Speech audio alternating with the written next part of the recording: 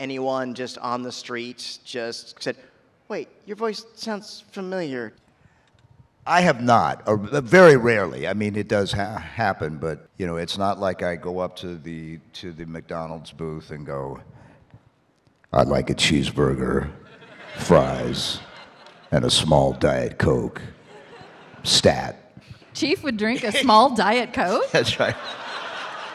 Oh, I don't know. That's- Iced tea, sweetened, please.